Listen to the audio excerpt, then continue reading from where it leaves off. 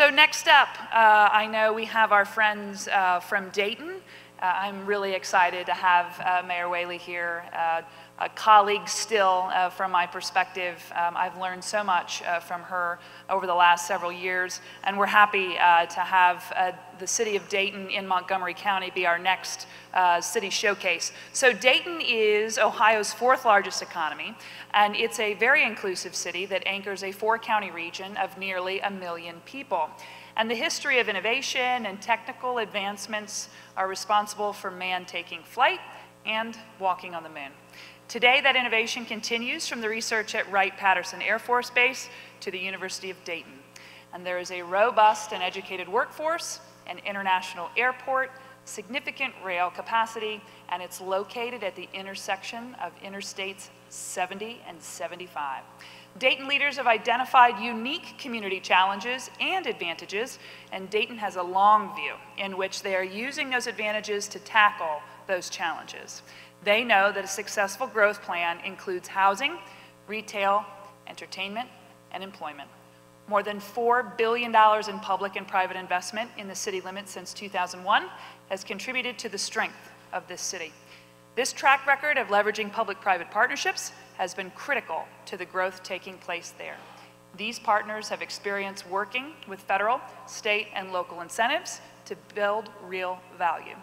Dayton has 17 census tracts designated as opportunity zones, and those tracts are divided into eight distinct geographies, each with its own compelling value proposition. Our next video showcase highlights how they are building their future by capitalizing on the city's heritage in areas ripe for investment. Let's learn about Dayton. I'm super excited. You know, we're seeing a lot of investment across the city. It's really heartwarming to see, you know, things turning around for Dayton, and Dayton, I think, is really on the cusp of being a cool city.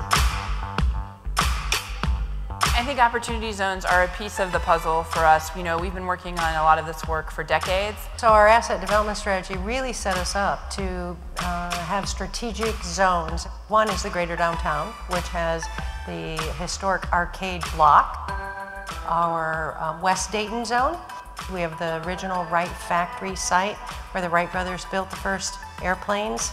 This is all very new development. Of course, you got the ballpark as the center of, uh, of this development area. Delco Lofts is a historic tax credit project. So these projects always uh, are very collaborative. Everybody needs to be working towards the same goal.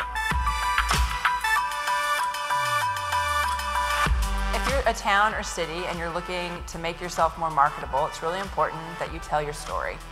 Uh, and every city story is a unique one. So the Opportunity Zone program is another tool to help us significantly attract investment and speak to investors with regards to opportunities in Dayton. It's creating an environment where you can walk to amenities. I'm really excited about what the future holds for Dayton. I think we are ready to bust at the seams with some of our really cool factors, uh, and I think that that will have multiplying uh, impact uh, on our city.